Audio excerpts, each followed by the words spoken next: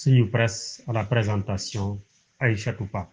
Bonjour. La modification du règlement intérieur de l'Assemblée nationale, les nominations en Conseil des ministres, entre autres sujets, sont mises en exergue par les quotidiens reçus ce vendredi. Resté dix jours sans aucune réponse de la lettre adressée à Diomaye, l'Assemblée nationale prend ses responsabilités et passe en outre une réunion du bureau convoquée cet après-midi pour l'ouverture d'une session extraordinaire. La proposition de modification du règlement intérieur a déclenché la semaine prochaine, renseigne le journal Les Échos et saisine du Conseil constitutionnel énigme sur un avis Letton dans le quotidien à Besby le jour. L'objet est-il la dissolution ou les meilleurs délais pour le parrainage s'interroge le quotidien. Hassan John estime que le délai de 10 jours du président de la République est passé. C'est étonnant qu'il n'ait pas donné son avis, explique le député dans les colonnes du journal Besby le jour. Le journal Le Soleil s'intéresse au semblement diplomatique et titre à sa une le grand remplacement à venir. Déjà une vingtaine d'ambassadeurs et consuls rappelés. Le journal L'Observateur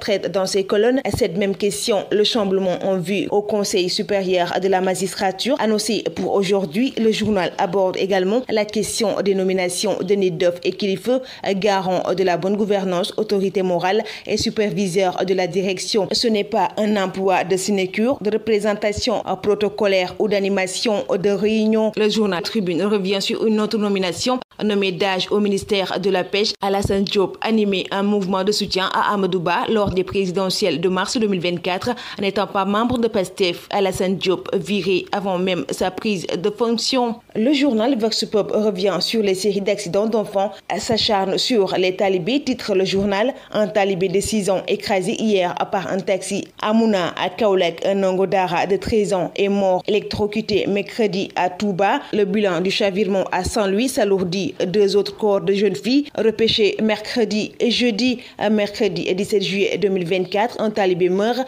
dans le renversement d'une charrette à Dara le 30 juillet. Un autre retrouvé mort dans le bassin de rétention de Darou Rahman. Le journal Sud Quotidien s'intéresse au procès en diffamation lié au scandale du fonds Force Covid-19. Mimi joue et gagne, titre le journal Le délibéré dans l'affaire de diffamation relative au fonds du Force Covid-19 opposant Marsou Faye à Aminata Touré a été livré hier jeudi. Le tribunal de Dakar a ordonné la relaxe pure et simple d'Aminata Touré au bénéfice de sa bonne foi. Le journal Wolf Quotidien titre à sa une hausse dure à avaler abordant la cherté du prix de la viande. Les Sénégalais moyens se contentent de tripes à 2600 de petits ruminants et 55 bovins abattus par jour pour seule la région de Dakar. Le journal Libération revient sur les 1 milliard 406 millions 186 567 francs CFA déjà puisés dans les comptes de Woodside ouverts à Citibank.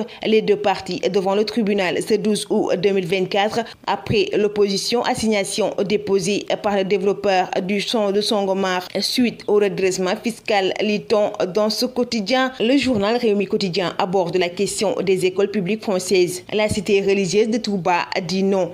Personne ne doit imaginer le retour d'écoles publiques en langue française à Touba, Dixit Serigne Bass Abdoukhadr.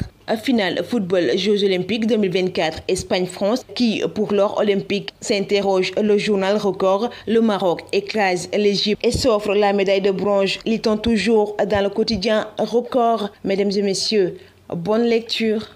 Presse vous est offert par.